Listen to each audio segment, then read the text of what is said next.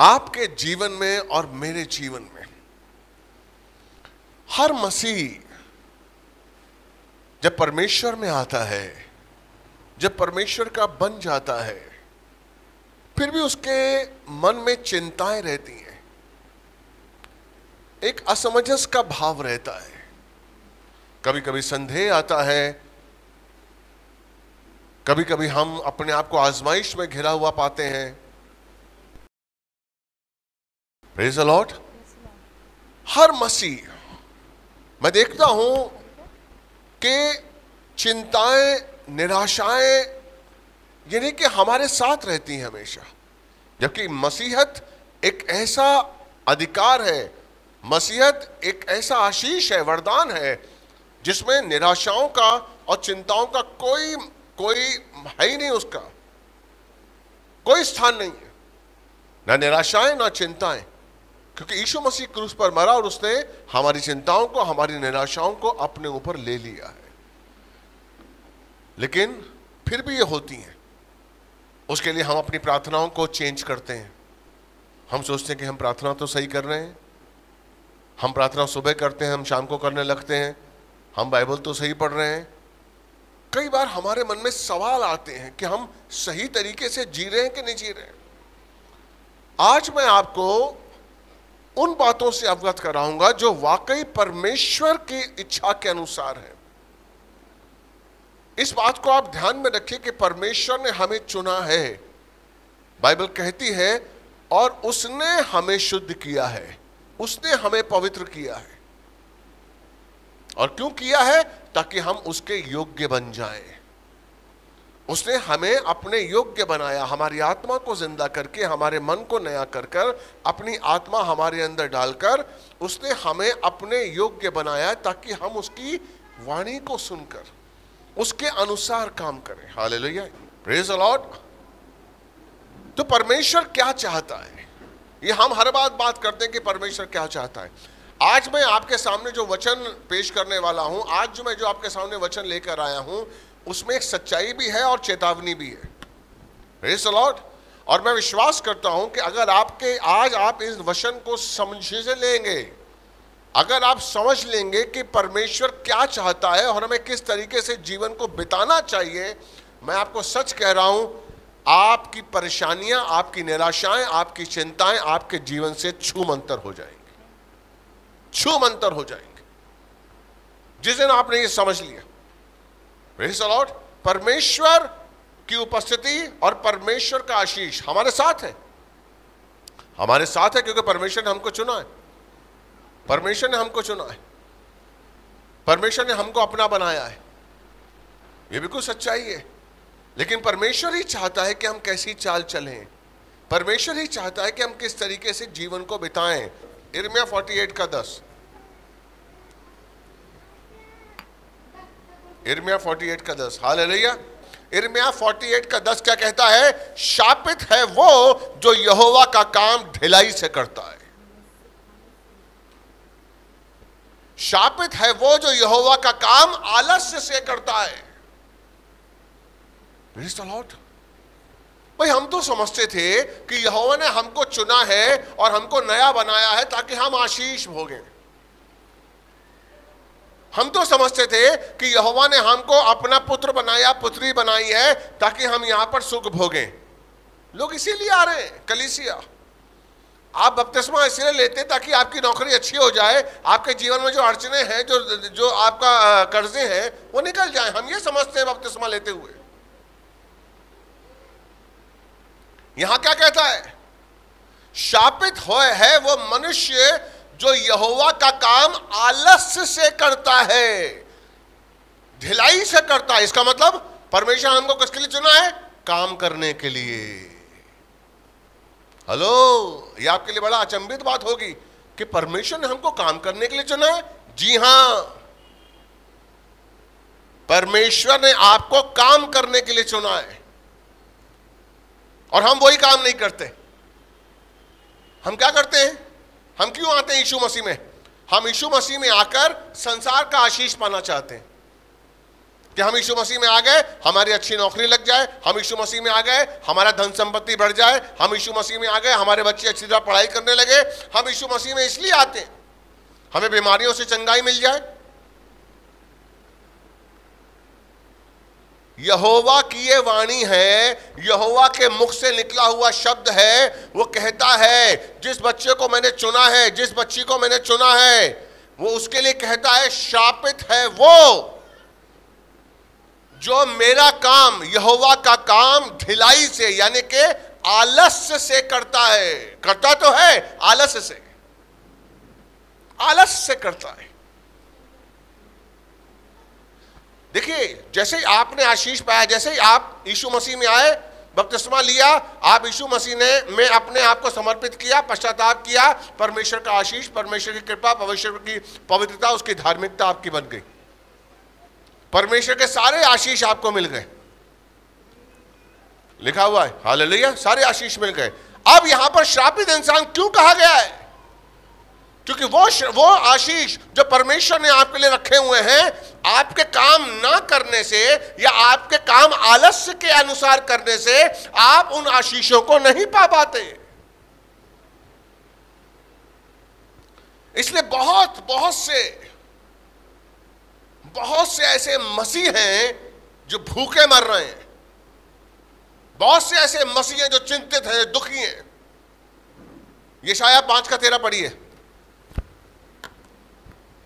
बहुत से ऐसे मसीह हैं।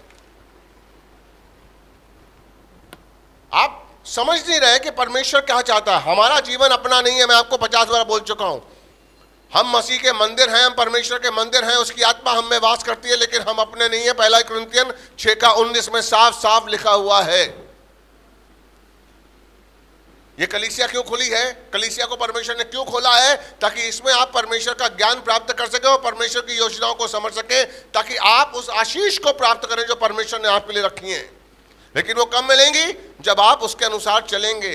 हाले लोहिया देखिए इसमें क्या लिखा हुआ है? पाँच का तेरह यशाया पाँच का तेरह। ध्यान से सुनिए। इसलिए अज्ञानता के कारण हाँ। मेरी प्रजा बंधुआई में जाती है। इसीलिए अज्ञानता की वजह से मेरे लोग मेरे चुने हुए लोग मेरी प्रजा बंधवाई में जाती है। और आगे?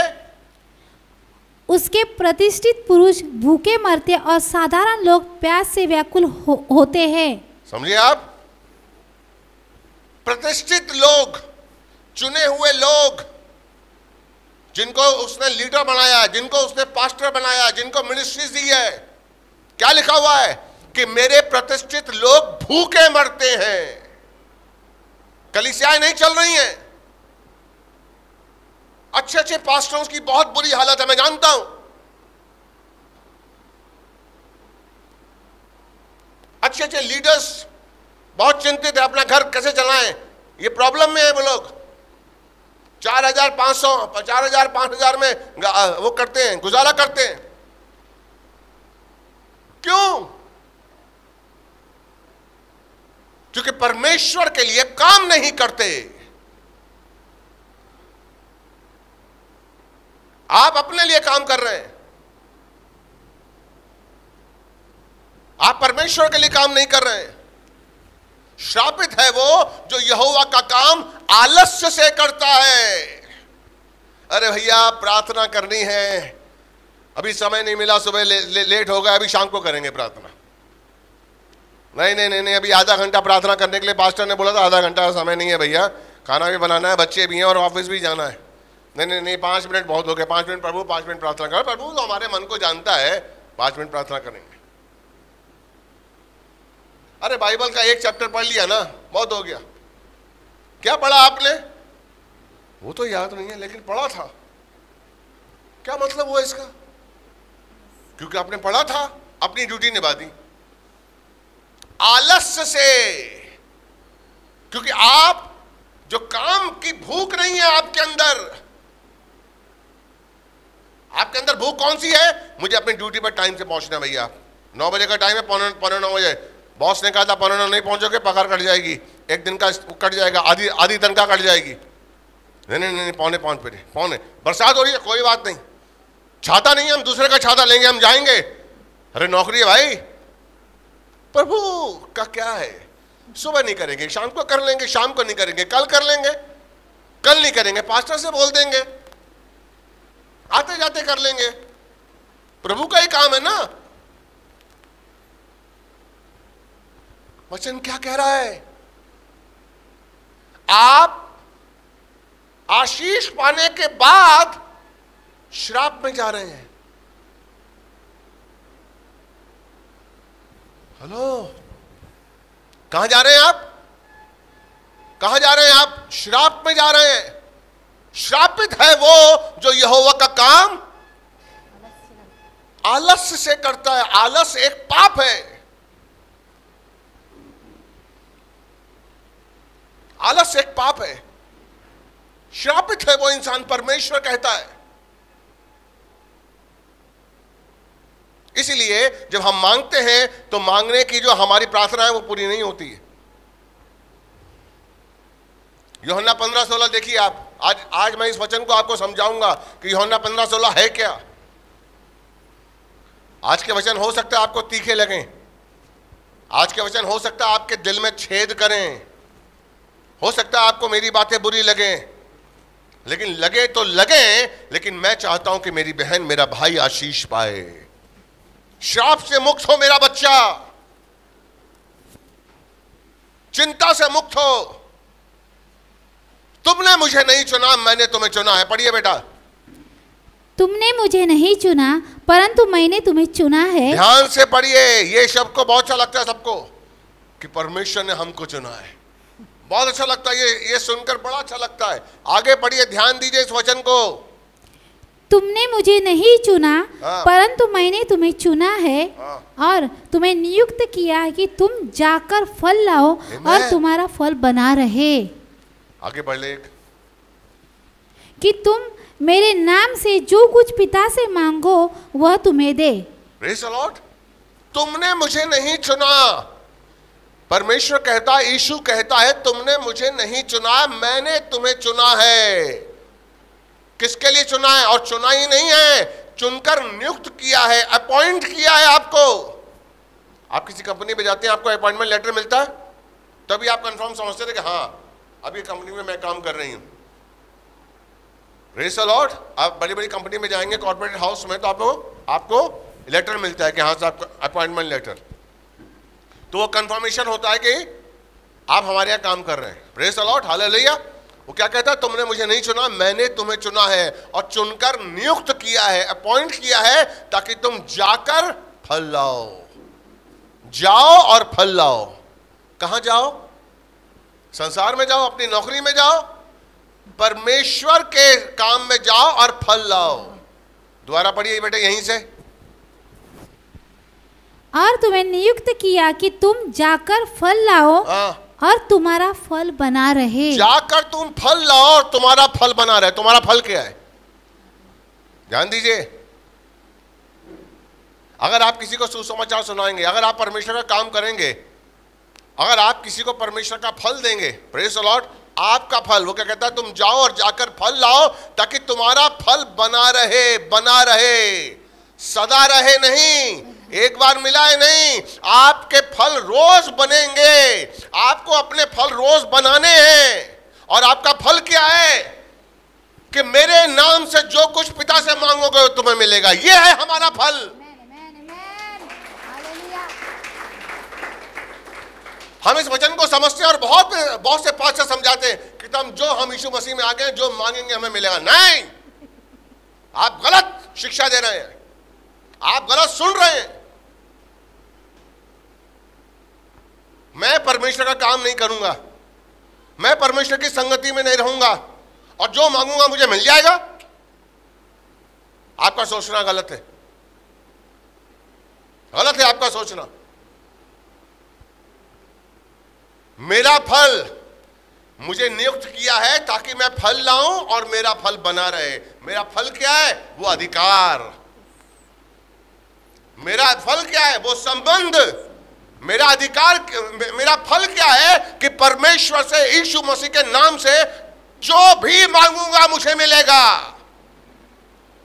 जो भी। लेकिन उसके पहले मुझे जाना है, फल लाना है, काम करना है प्रभु का। हम समझते बिना काम किए। आए, चर्च में आए, दशांश दिया और चले गए। और सोच रहे हैं बस हमारा काम हो जाएगा। तब भी परमेश्वर देता है। तब भी परमेश्वर इच्छाओं को पूरा करता है। क्यों मसीहों के घर के बच्चों को आशीष नहीं मिल रही है? क्यों मसीह के घरों में लड़ाइयाँ हो रही हैं? क्यों बरकत नहीं हो रही है? क्योंकि मेरे भाई आप उसके अनुसार नहीं चल रहे आप कौन है?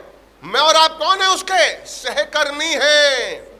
पहला कुरंतियन तीन का नौ तीन का नौ पढ़िए। पहला कुरंतियन तीन का नौ हम कौन है उसके? हम कौन है उसके? सहकर्मी। हालेलुया पहला कुरंतियन तीन का नौ। क्योंकि हम परमेश्वर के सहकर्मी हैं। बस क्योंकि हम परमेश्वर के सहकर्मी है। दूसरा कुरंतियन छह का एक। आप जान लीजिए आप कौन है? सहकर्मी, साथ काम करने वाला। परमेश्वर ने आदम को बनाया और उसे धरती पर प्रभुता दी। उसे क्या बोला? यदन की वाटिका तुझे इसकी देखभाल करनी है। उसके बाद तो सारे फल खा सकता है। उसको काम दिया। धरती की प्रभुता तेरे पास है, तुझे संभालनी और मुझे जवाब देना है। The आप नहीं जानते आप कौन है। आप नहीं जानते। आप उसकी कीमत को नहीं समझ रहे हैं। आप नहीं जान रहे कि परमेश्वर ने आपको चुना आप सोचिए, कितने आपके आपके परिवार में कितने लोग हैं? चाचा, मामा, ताऊ अगर सब मिलाएँ, सब अगर मिलाएँ आपके घर में तो कितने लोग होंगे? कम से कम सौ होंगे? चाचा, मामा, ताऊ, सौ, डेढ़ सौ तो होंगे हर एक घर में। होंगे कि नहीं होंगे? हाँ के ना? प्रेज द लॉर्ड और अपने दोस्तों को मिला लीजिए आप।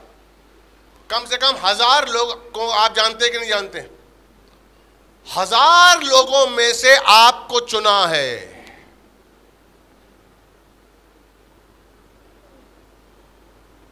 आप समझ रहे हैं? हज़ार लोगों में से आप नहीं जानते। आज मेरे परिवार में हज़ारों लोग हैं हज़ारों मेरे रिश्तेदार हैं, दोस्त सबको मिलाऊं तो मुझे सिर्फ़ चुना है।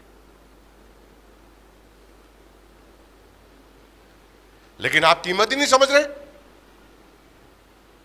परमेश्वर ने आपकी आत्मा को ज़िंदा किया, आपके मन को नया किया ताकि आप उसकी आवाज़ को सुन सके। आप सुनना नहीं चाहते, नहीं? आप सुनना नहीं चाहते? अपने बॉस की सुनना चाहते, अपने पड़ोसी की आवाज़ सुनना चाहते, प्रभु की आवाज़ सुनना नहीं चाहते। बस खाने को मिल रहा है।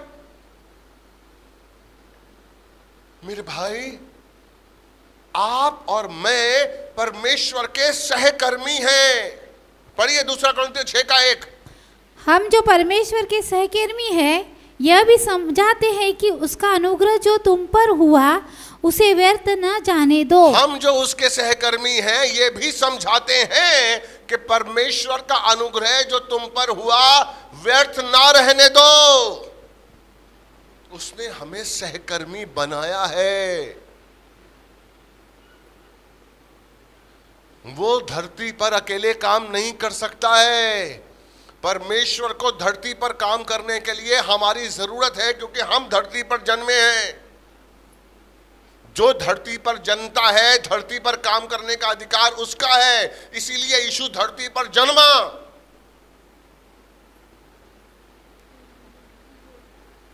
आप नहीं समझ रहे हैं? परमेश्वर आपको सहकर्मी क्यों बना रहा है? क्योंकि परमेश्वर आपके द्वारा काम करना चाहता है। आप नहीं जानते हैं कि आपकी कीमत परमेश्वर की नज़रों में क्या है। परमेश्वर की नज़रों में आपकी बहुत कीमत है, उसने अपने इकलौते पुत्र का बलिदान दे दिया। लेकिन आपकी नज़रों में परमेश्वर की कीमत सिर्फ़ आशीष और दस हज़ार और पंद्रह हज़ार और बीस हज़ार रुपए की नौकरी है, बस और कुछ नहीं है। कुछ नहीं है आपके अंदर, आपके नज़रों में उसकी कीमत, बस। वो कहता है, उस अनुग्रह को व्यर्थ मत रहने दो। व्यर्थ में मत जाने दो। वो हाथ जोड़ता है आपसे, पौलुस।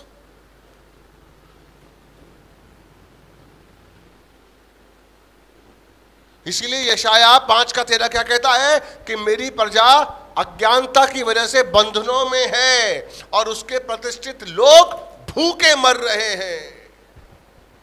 क्योंकि अज्ञानता है। आज भी आप चिंतित हैं, मेरी रोटी कहाँ से मिलेगी? मेरा कपड़ा कहाँ से मिलेगा? मेरी नौकरी छूट गई तो कौन देगा? आज भी आप परमेश्वर पर डिपेंड नहीं है। अरे मुझे संभालने वाला मेरा पिता है।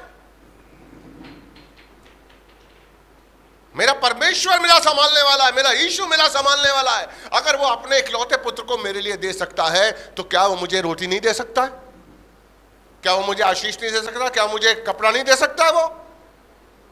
अपने इकलौते पुत्र का उसने मेरे और आपके लिए बलिदान कर दिया, मेरे भाई, मेरी बहन। इसको हमें समझना ज़रूरी है और याद रखना ज़रूरी है, ताकि हमारा फल बना रहे। और हमारा फल क्या है? कि हम यीशु मसीह के नाम से जो मांगेंगे हमको मिलेगा। जो मांगेंगे आप का छोटा सा आलस्य आपकी छोटी सी ढिलाई आपको कितने बड़े आशीष से दूर रख रही है? आपका आलस आपकी ढिलाई आपको उस वरदान से दूर रख रही है। वो वरदान वो अधिकार कि मैं यीशु के नाम से जो मांगूँगी मुझे मिलेगा। आपका आलस आपका आलस आपको दूर रख रहा है। क्योंकि हम परमेश्वर के काम में ढिलाई करते हैं और कर, और सब कामों में नहीं ढल करते ढिलाई। परमेश्वर के काम करने में दशांश देने में ढिलाई करते हैं। आज मिला अगले हफ़्ते देंगे। अरे अगले हफ़्ते छोड़ो यार अगले महीने दे देंगे। आप क्या समझते हैं? आप अपनी आशीषों को काट रहे हैं। आप परमेश्वर का कुछ नहीं बिगाड़ आप चर्च का कुछ नहीं बिगाड़ रहे, चर्च तो चलता ही रहेगा। आप अपना नुकसान कर रहे हैं। प्रेज द लॉर्ड आप अगर काम नहीं करेंगे, परमेश्वर दूसरों को चुनेगा। यीशु बोलते हैं ना उनके फरीसियों को कि अगर ये चुप हो गए तो पत्थर बोल उठेंगे। आपको पता है? मेरा पिता पत्थरों से सुसमाचार दिलवा सकता है। वो परमेश्वर है। उसके लिए कुछ भी असंभव नहीं है। इसलिए अगर हम उसके साथ काम कर रहे हैं तो इसमें हमारी भलाई है, मेरे भाई, मेरी बहन। श्रापित है वो जो यहोवा का काम आलस्य से करता है। सोचिए, हम किसके लिए आए थे? उस श्राप से मुक्त होकर। क्या हम यीशु मसीह में आएँगे? पवित्र होंगे, श्रापों से मुक्त होंगे। प्रेज लॉर्ड इसीलिए आए थे हम। किसके लिए आए थे हम? ताकि हम श्रापों से मुक्त हो जाएँगे। प्रेज लॉर्ड और यीशु ने हमें श्रापों से मुक्त किया। लेकिन, जब परमेश्वर के काम में हम ढिलाई अपनाएँगे, अपना धंधा हमारे लिए पहले, संडे है। यार धंधा आ गया, छोड़ो चर्च यार। छोड़िए घर में बैठिए। आप देखिएगा। आप देखिए, कर्जों से आप निकल नहीं पाएँगे। कभी इससे मांगो, कभी उससे मांगो, कभी इससे मांगो, कभी इसको बेवकूफ़ बनाओ, ये चलता रहेगा। और आप कहेंगे, साहब, कि प्रभु काम नहीं कर रहा है। हाँ प्रभु तो खाली बैठा है ना। अरे, प्रभु ने आपको नया जीवन दे दिया, कम है क्या? उसके बाद भी आपकी आँखें नहीं खुलती हैं कि आप परमेश्वर के अनुसार ज़िंदगी बिताएँ। फिर भी आप चाहते हैं कि परमेश्वर हर बार, हर हर बार, हर मोड़ पर आप यीशु मसीह को मारते हैं।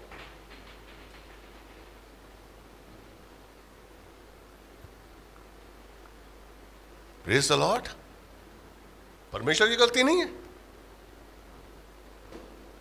परमेश्वर की गलती नहीं। आठ महीने परमेश्वर ने बता दिया। आप लोग घर में थे ना?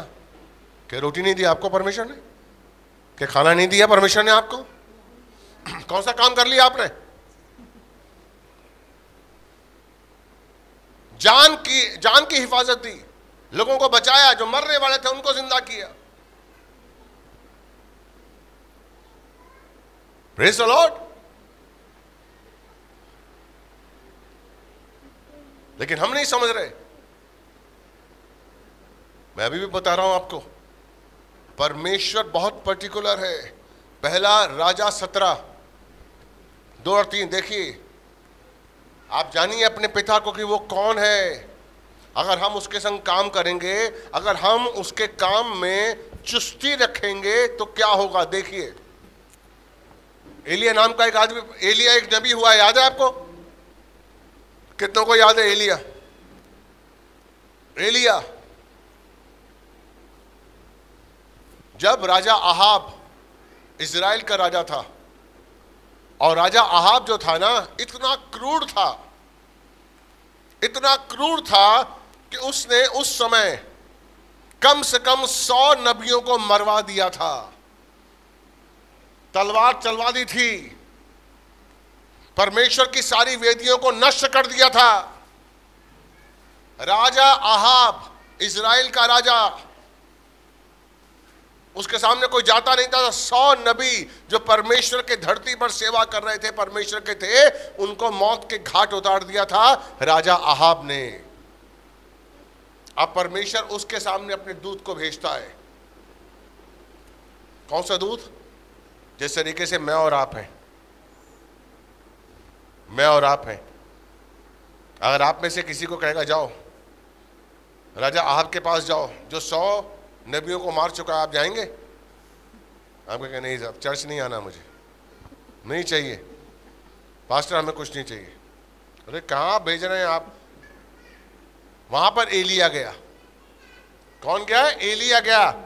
और एलिया ने परमेश्वर की वाणी बोली। क्या बोला? सत्रह का एक पढ़िए। तिजबी एलिया जो गिलाद के परदेशों में था हाँ। उसने आहाब से कहा इज़राइल का परमेश्वर यहोवा जिसके सम्मुख में उपस्थित रहता हूँ।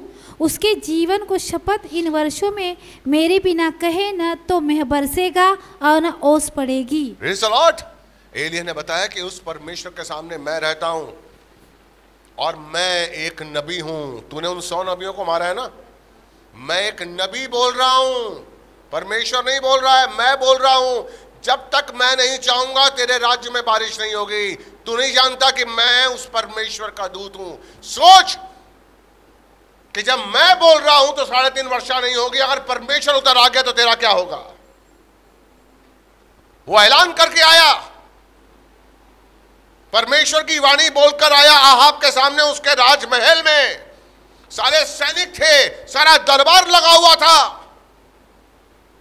जिन्होंने सौ लोगों को सौ नबियों को घाट उतारा था मौत के। वहाँ पर एलिया बोलकर आया।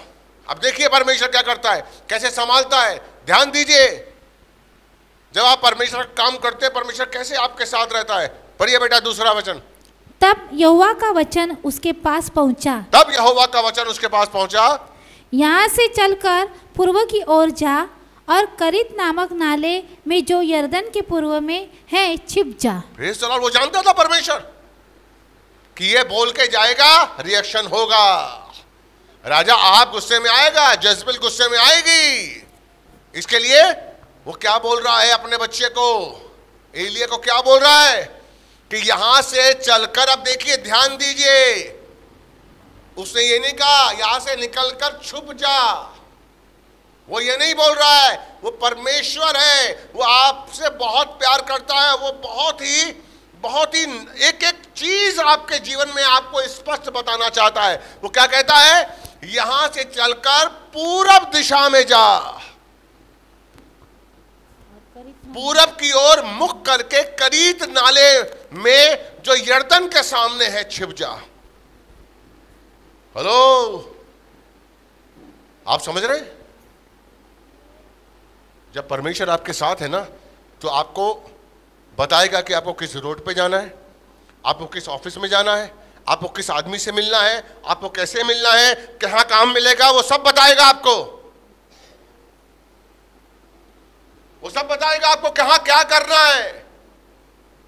जब परमेश्वर आपके सामने है, पूरब की दिशा में जा, जो यर्दन के सामने करीत नाला है, वहाँ पर छुप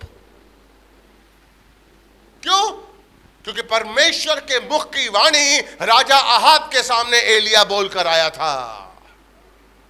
उसने आलस नहीं किया बोलने में कि आज नहीं, परमेश्वर कल बोलेंगे। राजमहल में नहीं जाएँगे बोलने के लिए परमेश्वर। सर, नहीं नहीं, वो कहीं अकेला खड़ा होगा तो वहाँ जाकर मैं चुपचाप से बोलकर आ जाऊँगा, भागूँगा। वो राजा है। महल में जा।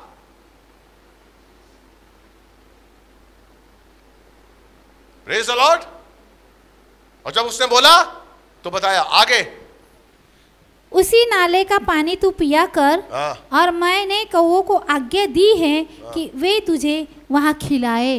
उसी नाले का पानी और तुझे करना क्या है? हेलो जब आप परमेश्वर के साथ होते हैं ना जब आप परमेश्वर की आज्ञा पे चलते हैं जब आलस के साथ नहीं चुस्सी के साथ परमेश्वर का काम करते हैं तो वो बताता है कि तुझे रोज क्या करना है? तुझे कैसे खाना मिलेगा? तुझे कहाँ से भोजन मिलेगा? इसी की चिंता है ना हमको।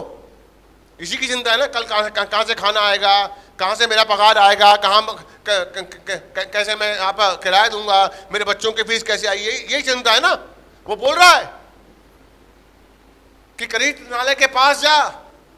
वहाँ का पानी पिया कर और मैंने कौओं को आज्ञा दी है कि वे तुझे रोटियाँ देंगे। हेलो प्रेस अलॉट आप जानते हैं आपका पिता? एक एक चीज़ बता रहा है वो। यानी कि एलिया, जो बोलकर आया था, उसे पता उसे क्या जाना है। कौन आ रहा है? कौआ आ रहा है लेकर, उसे पता है। ये नहीं बोला, परमेश्वर तुझे खाना मिल जाएगा। मैं भेजूँगा। किसी ना किसी के हाथों भेजूँगा। परमेश्वर मनुष्य नहीं है, जो आज देता है। कोई ना कोई तो आपके लिए आएगा। पास्टर आप बैठिए। आपकी ज़रूरत, मैं मैं हूँ मैं हूँ मैं हूँ। वो परमेश्वर है। किसके हाथों भेजूँगा क्या भेजूँगा कब भेजूँगा he knows praise a lot कि वहाँ पर तू जा मैंने कौओं को आज्ञा दी है कि वे तुझे वहाँ खिलाएँ। एलिया को बताने से पहले कौओं को आज्ञा दे चुका है। इसलिए वो कहता है कल की चिंता मत कर। कल जो आने वाला है ना, वो अपनी चिंता अपने आप करेगा। तू सिर्फ़ मेरी धार्मिकता पर चल। तू सिर्फ़ मेरी धार्मिकता पर चल। तू सिर्फ़ मेरा काम कर। तू सिर्फ़ मेरी वाणी सुन। क्योंकि तू मेरा सहकर्मी है इस धरती पर। कैसे काम करेगा? मुझे बताइए परमेश्वर। परमेश्वर का राज्य कैसे बढ़ेगा? क्यों हमारे जीवन में आशीष नहीं आ पा रही है? चुने हुए तो हैं हम। हम अंगीकार करते कि हम चुने हुए लेकिन हम परमेश्वर की आवाज़ सुनने के लिए तैयार नहीं है। हम परमेश्वर काम करने के लिए तैयार नहीं है। नहीं है। हम अपने साम्राज्य में लगे हुए हैं।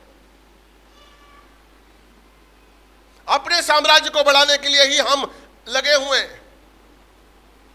लॉर्ड इसका पहला का उन्नीसवां पाँच और आठ देखिए आप। इसी का पहला राजा उन्नीस, पाँच और आठ।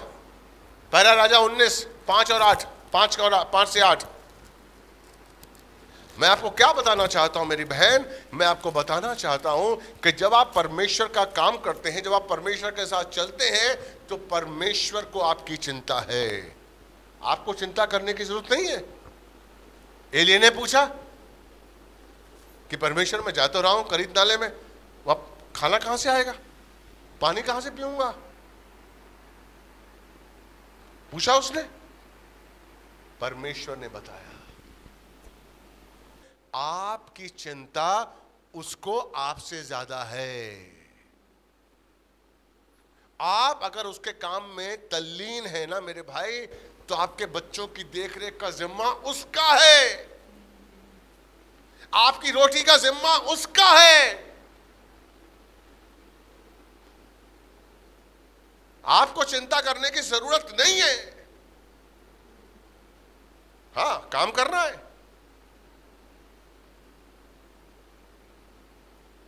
प्रेज लॉर्ड अगर परमेश्वर आपके साथ है तो अंधकार की शक्ति आपके पास नहीं आएँगी।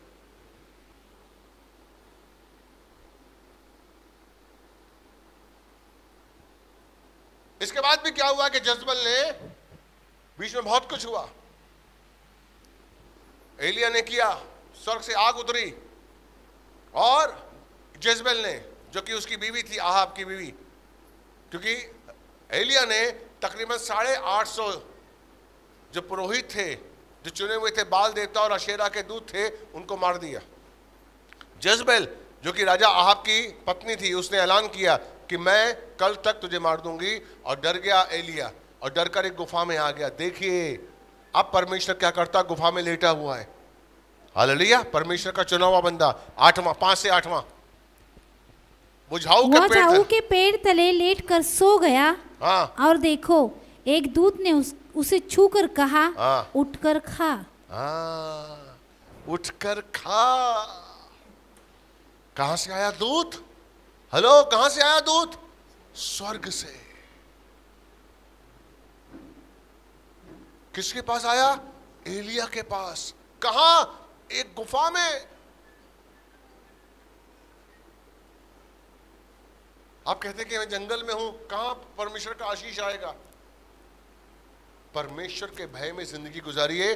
परमेश्वर के काम में अपने आप को लगाइए। उसका स्वर दूत आपकी सेवा करेगा।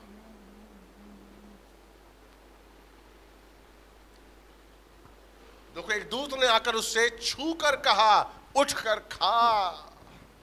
एक पिता जैसे एक माँ अपने बच्चे के लिए तड़पती है, मेरा बच्चा मेरा बच्चा भूखा है।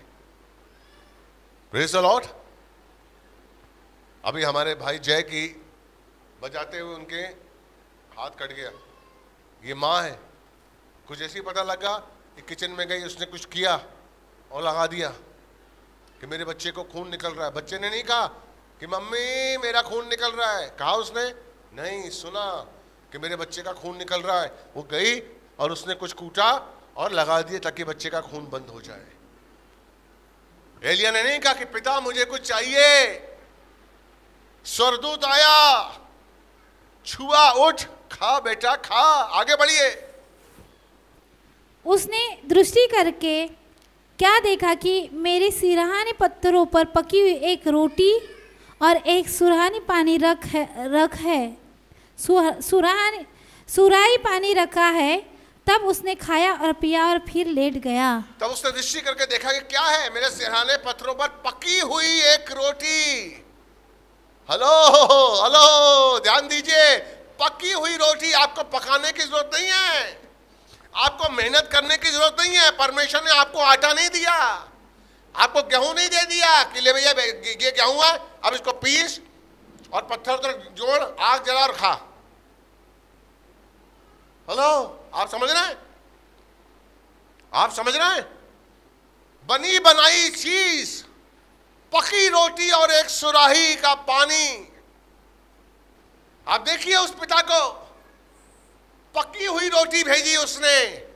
कच्ची रोटी नहीं भेजी। उसे ये नहीं कहा कि देख गुफा के बाहर गेहूँ की बालें लगी हुई हैं।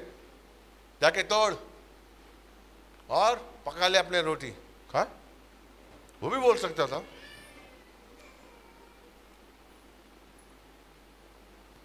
प्रेज लॉर्ड स्वर्गदूत आया और उसे छुआ, खा ले। पकी हुई रोटी और खा आगे क्या है? दूसरी बार युवा का दूत आया हाँ। और उसे छू कर कहा उठकर खा क्योंकि तुझे बहुत लंबी यात्रा करनी है। क्यों खिलाया उसने? क्योंकि परमेश्वर का काम उसे करना है। परमेश्वर ने दूध को दूसरी रोटी लेकर भेजा। क्यों? खा। ताकि तुझ में ताकत आए, ताकि तुझे और काम करना है। परमेश्वर ने हमको चुना है, हमको आशीष दिया है, नौकरी दिया है, सब कुछ दिया है। क्यों दिया है? ताकि हम उस आशीष को पाए और तैयार हो जाए परमेश्वर के लिए कि हमें परमेश्वर का काम करना है। परमेश्वर आशीष क्यों दे रहा है? ताकि आप तैयार रहे उस, उसका काम करने के लिए, उसकी आवाज़ सुनने के लिए। हम आशीष पाकर अपना ही काम करते हैं। हम आशीष पाकर अपने ही संसार को बना रहे हैं। इसीलिए चिंता होती है इसीलिए मसीह जो है वो दुखी दुख रह, दुख में रहता है। इसीलिए उसमें लिखा है कि मेरी जो प्रजा है वो बंधन में रहती है और जो प्रतिष्ठित लोग हैं वो भूखे मरते हैं भूखे। मसीह के लोग भूखे मर रहे हैं। विश्वासी लोग भूखे मर रहे हैं। क्यों? क्योंकि आप आशीष पाने के बाद उसका काम नहीं कर रहे हैं।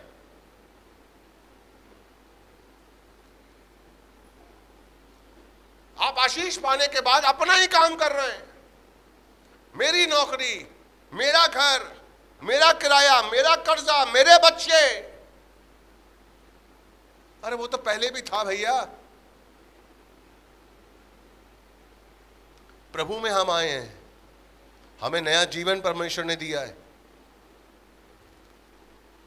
नया जीवन परमेश्वर ने दिया है। क्यों दिया है? इस चीज़ को समझना मेरे भाई, मेरी बहन बहुत ज़रूरी है। जब तक हम इस चीज़ को नहीं समझेंगे, हम प्रॉपर तरीके से परमेश्वर के हो नहीं पाएँगे। हो नहीं पाएँगे हम परमेश्वर के प्रॉपर तरीके से। नहीं हो पाएँगे। हमें अपनी बुद्धि का सहारा नहीं लेना, इसलिए रोमियो बारह का तीन पढ़िए। रोमियो बारह का तीन। मैं आज आपको समझा रहा हूँ, मैं आपको सच कह रहा हूँ, ये वचन अगर आप सच्चाई से ग्रहण करेंगे और इसके अनुसार चलेंगे। सबसे पहले तो आप सुनते हैं। आप इस जीवन में महसूस करें, हर दिन हर पल। हर दिन हर पल। आप सोचिए कि परमेश्वर ने आपको नया जीवन दिया है। वो जीवन जो हर एक को नहीं मिलता है, नया जीवन परमेश्वर ने आपको दिया है।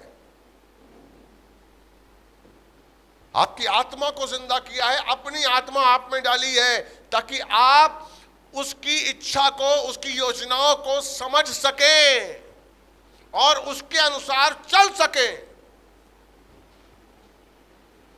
मसीहत अपना जीवन जीना नहीं है, मसीहत उसका जीवन जीना है जो हमारे अंदर है। हेलो? अभी मेरे अंदर किसका जीवन है? किसका जीवन है आपके अंदर? किसका जीवन है आपके अंदर? यीशु मसीह का।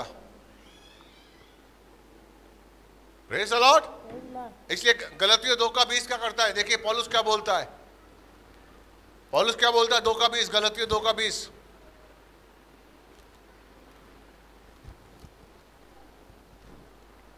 गैलेशियन दो का बीस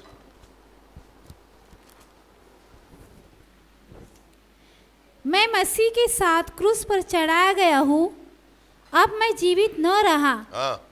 पर मसीह मुझमें जीवित है और मैं शरीर में अब जो जीवित हूँ तो केवल उस विश्वास से जीवित हूँ जो परमेश्वर के पुत्र पर है जिसने मुझसे प्रेम किया और मेरे लिए अपना अपने आप को दे दिया। लॉर्ड क्या बोलता है पॉलुस?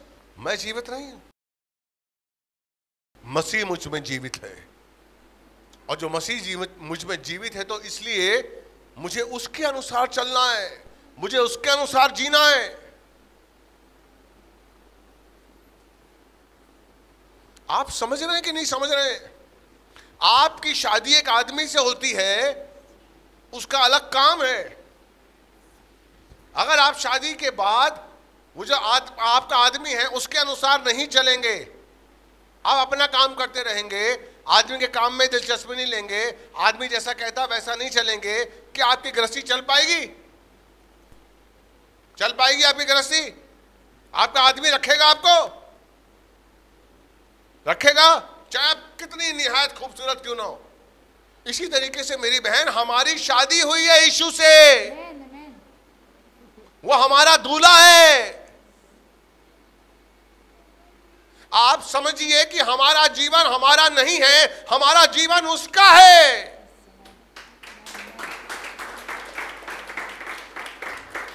इस चीज़ को आप अपने दिमाग में बैठा, बैसा लीजिए।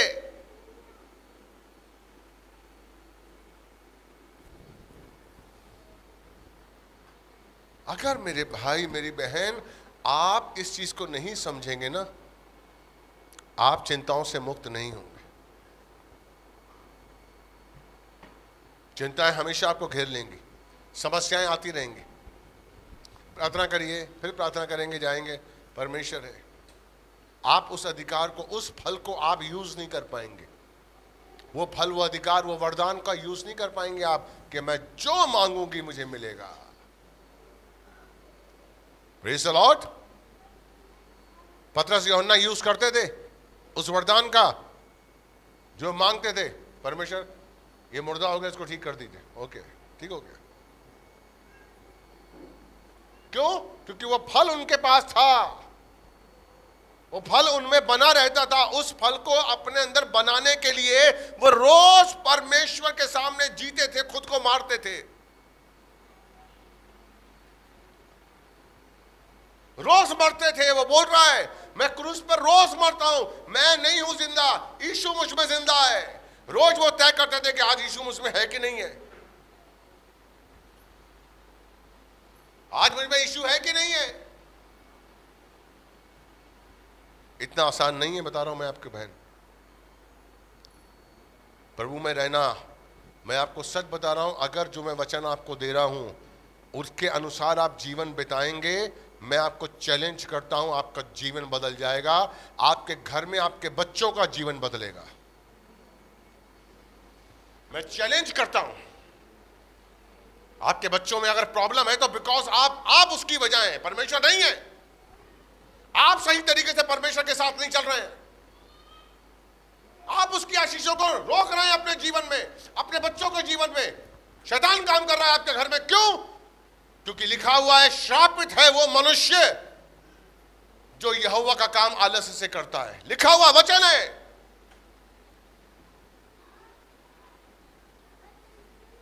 और मैं नहीं चाहता हूँ कि मेरा कोई भी बहन, मेरी कोई भी भाई के घर में शराब हो।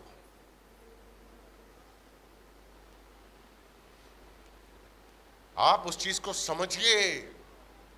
अंतिम समय है, इस समय हालात अलग हैं। हालात अलग है, मैं बता रहा हूँ आपको। अगर आपने अपने आप को मज़बूत नहीं किया, अगर आप मसीह में मज़बूत नहीं हुए अगर आपके अंदर क्रूस, अगर आप अपने क्रूस को उठाकर रोज नहीं चलेंगे मेरे भाई, मेरी बहन, आप रह नहीं पाएँगे परमेश्वर में। अंतिम समय चल रहा है। अंतिम समय चल रहा है। अगर आपको थोड़ा सा अंदाज़ा हो गया होगा तो इस बीमारी की वजह से आपने देख लिया होगा अंतिम समय की शक्ल क्या होती है। अभी भी वक्त है। परमेश्वर के काम को ढिलाई से नहीं, आलस से नहीं। प्रभु का काम है। मेरा काम नहीं है। रोमियो बारह का तीन। प्रभु का काम है। इसलिए पॉलुस कहता है कि मैं अब ज़िंदा नहीं हो, मुझमें ईशु ज़िंदा है। सोचिए आप। वो अपने अंदर ईशु को देखता है। यानी कि उसके जीवन में जो भी काम होता होगा, वो किसके अनुसार चल करता होगा? ईशु के अनुसार। हेलो? किसके अनुसार काम करता होगा? क्योंकि वो बोलता है, मैं ज़िंदा नहीं हूँ अपने में। मेरे अंदर कौन ज़िंदा है? ईशु।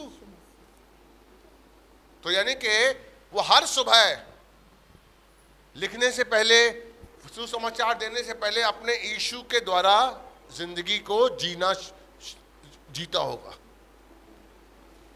पढ़िए बारह का तीन। क्योंकि मैं उस अनुग्रह के कारण हाँ। जो मुझ मुझको मिला है हाँ। तुम में से हर एक से कहता हूँ कि जैसा समझना चाहिए उससे बढ़कर कोई भी अपने आप को न समझे। हाँ. क्या कहता है? क्योंकि मैं उस अनुग्रह के द्वारा जो मुझे दिया गया है तुमसे प्रत्येक से कहता हूँ कि कोई भी अपने आप को जितना समझना चाहिए उससे ज़्यादा मत समझे। आगे। पर जैसा परमेश्वर ने हर एक को विश्वास परिणाम के अनुसार बांट दिया है वैसा ही सुबुद्धि के साथ अपने को समझे। यानी कि मैं आपको समझाऊं इसको दूसरा समझिए ध्यान से। परंतु परमेश्वर के द्वारा दिए गए विश्वास के परिमाण के अनुसार ही सुबुद्धि से अपने आप को समझे। दोबारा पढ़िए ये दूसरा जो अभी मैंने पढ़ा है।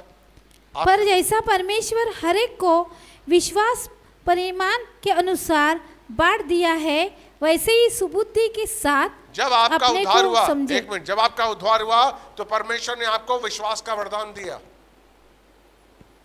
जिस विश्वास के वरदान के द्वारा आपको वो जो बुद्धि मिली है, उस बुद्धि के अनुसार आप अपने जीवन को बिताएँ।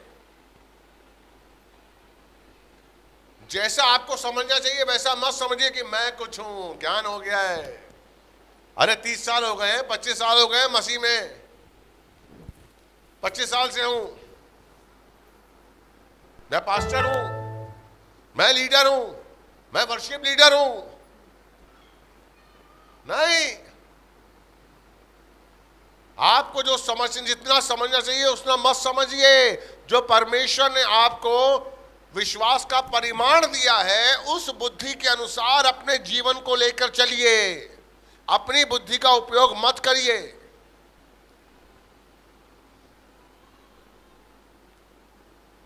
अगर अपनी बुद्धि का उपयोग करेंगे तो मैं आएगा, मैं। मैं जानता हूँ, अरे ये वचन जानता हूँ। मैं जानता हूँ नो इसलिए दूसरा वचन क्या कहता है? इसका दूसरा रोमियो बारह का दो। इस संसार के सदृश न बनो। संसार के सदृश ना बनो। परंतु तुम्हारे मन के लिए मन के नए हो जाने से तुम्हारा चाल चलन भी बदलता जाए। एक मिनट। तुम्हारा मन कितनों का विश्वास है कि आपका मन नया हो गया? The Lord. अगर आपका विश्वास है कि आपका मन नया हो चुका है तो क्या कहता है? आपके मन के नए हो जाने से आगे दोबारा पढ़ो। परंतु तुम्हारे मन के नए हो जाने से तुम्हारा चाल चलन भी बदलता जाए। तुम्हारा चाल चलन जो पहले था पहले जो आपका चाल चलन था अपने पुराने वाले मन के अनुसार था। पुराना जो मन था वो असाध्य धोखेबाज था। वो मन कहता था, ये करो। वो कहता था, झूठ बोलो। वो मन कहता था, धोखा दो। वो मन कहता था, व्यभिचार करो। वो मन कहता था, शराब पियो। वो मन कहता था, बीवी को मारो। वो मन कहता था अयाशी करो। लेकिन अब हम नया मन आ गया है। The तो क्या कहता है? अब मन के नए हो जाने की वजह से तुम्हारा चाल चलन भी बदले। पढ़ो बेटे दोबारा। परंतु तुम्हारे मन के नए हो जाने से हाँ। तुम्हारा चाल चलन भी बदलता जाए। हाँ। तुम्हारा यही तो ज़रूरी है। हमारे मन के नए हो जाने की वजह से हमारा चाल चलन कैसे बदलेगा? पहले जब हमारा मन था असाध्य रोग से पीड़ित था मन अशुद्ध था तो हम संसार के अनुसार चलते थे। अब मन हमारा शुद्ध हो गया है पवित्र हो गया है परमेश्वर ने नया कर दिया है तो हमें किसके अनुसार चलना है? कोई बोल नहीं रहा। किसके अनुसार चलना है? ज़ोर से बोलिए किसके अनुसार चलना है? तभी तो इस नए मन का फ़ायदा है। अगर इस नए मन को भी हम संसार के अनुसार चलाएँगे या इस नए मन को हम संसार में लेकर जाएँगे तो नया मन का फ़ायदा क्या हुआ? नया मन जो हमें मिला है उसका फ़ायदा क्या हुआ? प्रेज द लॉर्ड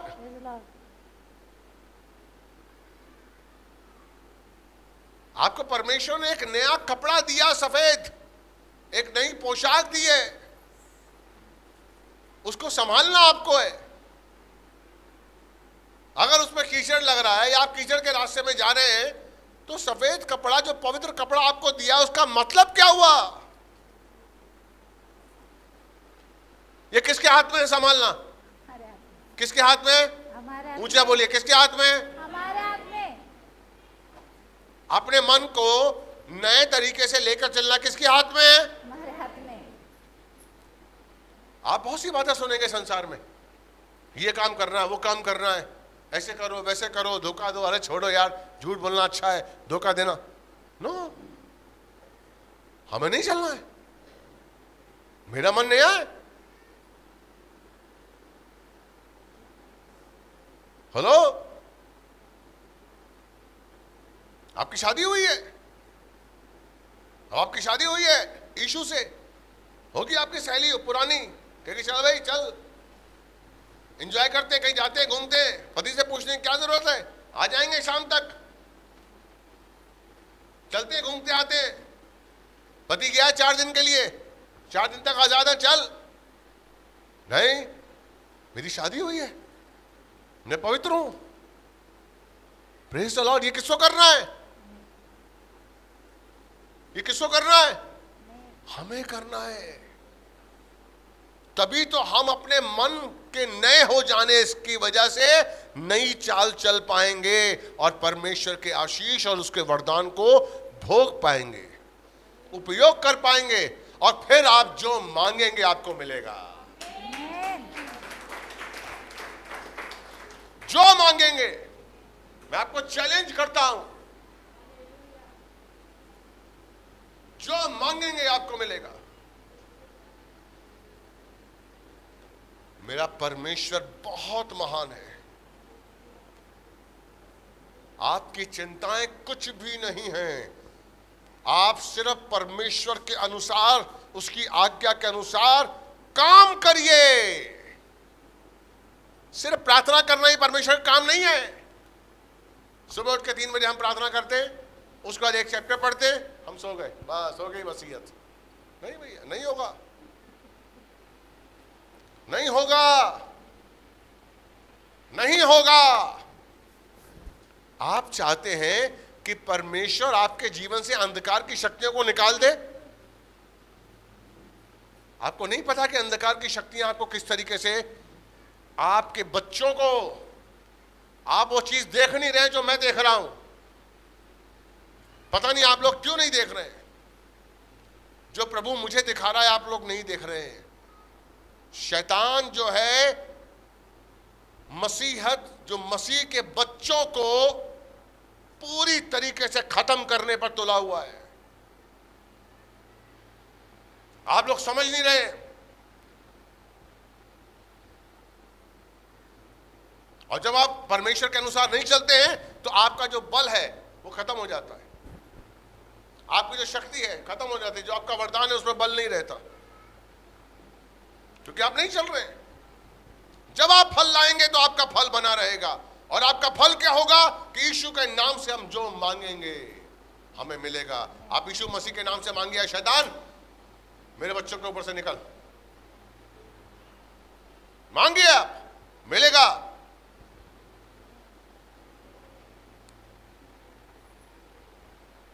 प्रभु आपको देगा मैं आपसे सच कह रहा हूँ आज जो मैंने आपको कहा है, उसको अपने जीवन में उतार लीजिए। मैं चाहता हूँ, मेरी कलीसिया का हर बच्चा, हर भाई बहन और जो भाई बहन देख रहे हैं, उन सब के लिए मैं चाहता हूँ कि आपके जीवन में परमेश्वर का आशीष और वो वरदान सिद्ध रहे कि आप जो मांगे परमेश्वर आपको दे। जो मांगे आपको परमेश्वर दे, क्योंकि परमेश्वर ने हमें पवित्र किया है, हम उसके पुत्र हैं, उसकी पुत्री हैं। हम काम ना करके अपने ऊपर श्राप ला रहे हैं। हम काम ना करके अपने ऊपर बंधन लेकर आ रहे हैं। प्रेज लॉर्ड हालेलुया मैं विश्वास करता हूँ आज का वचन आपको अच्छा लगा होगा। मैं विश्वास करता हूँ और मैं प्रार्थना करता हूँ। मैं निवेदन करता हूँ आपसे। कि प्लीज़ उसकी आवाज़ को सुनना शुरू करिए, अपने जीवन से आलस को निकालिए कि नहीं, अगर आप आलस से काम करते नहीं, मुझे परमेश्वर का काम पहले करना है, ये करने की, देखिए आप शुरू करिए, आपके जीवन में चेंजेस अपने आप आएँगे, आपके जीवन में बदलाव अपने आप आएगा। आज का वचन आपने ग्रहण किया? सबने ग्रहण किया? बोले यीशु मसीह की हालेलुया